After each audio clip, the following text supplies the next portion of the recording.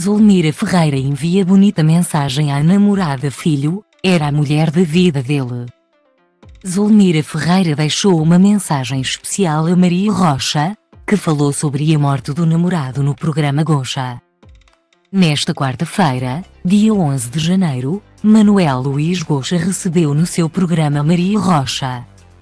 Namorada do DJ Edi Ferrer, filho de Zulmira Ferreira, que morreu há cerca de dois meses.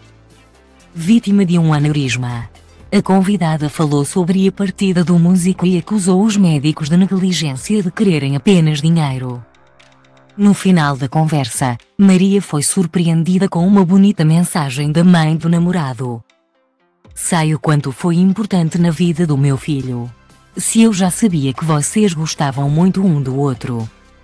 Agora eu tive a certeza, começou por dizer Zulmira Ferreira.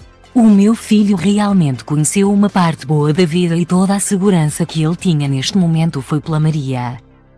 Tudo o que eu vi depois desta tragédia, vejo que era a mulher da vida dele.